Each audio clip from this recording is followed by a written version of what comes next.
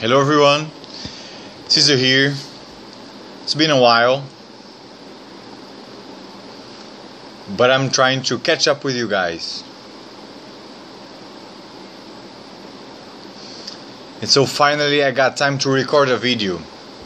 And let's do it. By the way, I'm smoking some Mississippi River. It's my first time smoking it and I'm enjoying a lot. And I'm smoking on my 306 Peterson 306. You can see it has a black uh, a black bowl, and it looks cool. It's a cedar, of course. You guys can see that.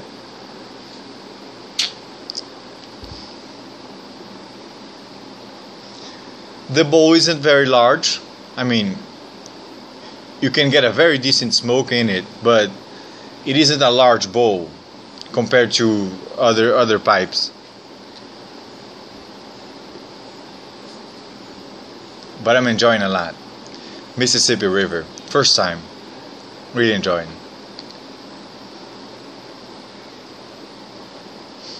Anyway, uh, lately I've been watching a lot of videos. Uh, I haven't been writing. I haven't been writing many comments, but I'm watching a lot because I spent like a few months without watching anything and without recording anything.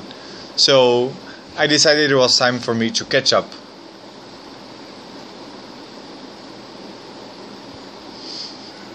And also, on January, now it's April already. Um, on January, I traveled I went to France, and I don't know if you, if, if I told you guys, it, it's it's awesome. I visited Paris. Only I, I, I went to France and visited only Paris. Man, awesome, awesome. uh, marvelous city, uh, very beautiful. Anyway, and there I bought some pipes which made the, the, the trip very, very awesome. it was the first time I could buy a pipe first hand. First hand, I mean, really looking at the pipe uh, before buying it and talking to a, a, salesman and him explaining me stuff and everything else. So I bought some. I haven't I haven't broken them in. I'm saving them because right before I go, I had a crisis of PAD, and I bought a lot of pipes also, even before I, even before I traveled. So I'm on the process of breaking the pipes in. I don't want to have a lot of pipes um, that I'm not able to enjoy them on their full extent yet. So I want break the pipes in and then take another pipe, a new pipe, break it in, take a new pipe and break it in. So that's what I'm doing. In this pipe, I had uh, a few smokes before I before I really smoked in it, so I didn't consider it uh, broken in. And here I am breaking it in now. I mean finishing breaking it in because I'm smoking already a full bowl and I'm finishing the process. So then I will, I'm gonna get another pipe and start breaking it in also.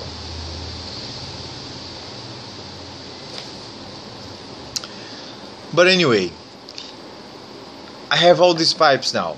My collection is a decent collection finally. At least I consider that. I consider it a, a decent collection. It has a lot of pipes. I mean, I know you, many of you guys have I don't know, uh, dozens of pipes. But um, for me, my collection now has a very decent number.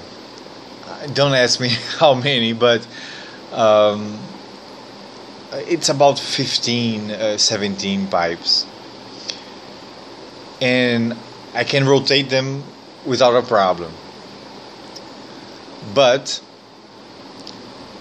ever since I started smoking pipes, I heard and I read about uh, how can I say dedicating the pipes to certain blends, not to mix up the taste and not to mix the the experience, because if you smoke a lot of aromatics, there are certain kinds of aromatics that, um, as we said, they leave the ghost inside the pipe. And if you, for example, if you smoke a Virginia in a pipe that you smoked a lot of aromatics, you end up uh, tasting that little bit of aromatic. It happens. All it happens also with English mixtures. The Latakia on the English mixtures they leave a residue of taste, and if you smoke something else, you might um, mix the taste. So that's what the that's what is said basically. And hearing that, ever since I started, I dedicated pipes.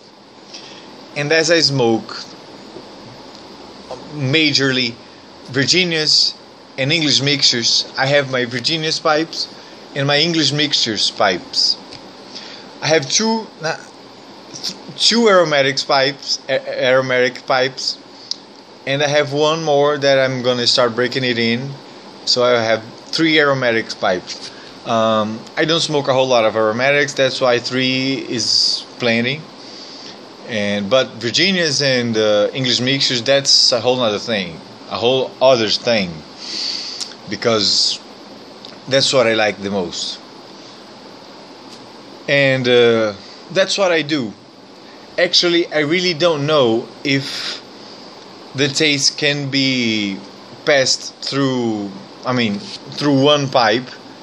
Uh, if you mix up all the the the blends, I don't know because I never I never had a pipe that I smoked all the blends in it. As I said, I always dedicated my pipes. That's what I do, and I know a lot of you guys do. And watching a lot of videos lately, I see that even though there is this common sense about dedicating pipes, I mean, many of you guys, you don't care a whole lot about it. Um, as I said, I can't really give an opinion on that because I've never mixed up my pipes and my blends.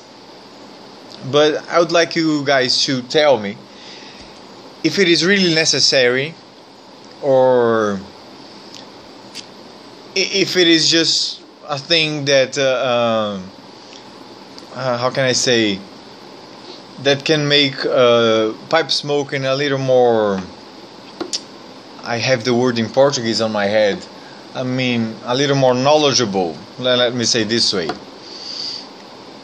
Um, another thing I'm asking you guys this because as I said, I bought a, some pipes lately, not lately, but uh, this year, 2015, and uh, I started to think when I start smoking all the pipes finally, and for example, if I don't smoke this pipe in a great while, I might I might get mixed. I might get mixed up on uh, which blend I smoke in it. Of course, now I know it's English, but how about then? How about uh, some time from now? Anyway, I'm overseeing. I'm I'm already seeing this trouble ahead. So what what do you guys do to make it easier? If you guys dedicate your pipes and if you guys don't dedicate your pipes do you find it uh, necessary or do you find it um, better anyway okay that's it now welcome back you all I hope I can record more of these videos um, in a shorter time because I enjoy a lot so it's nice to be back to the YouTube uh, pipe community, and let's keep on talking. Good smokes. Bye bye.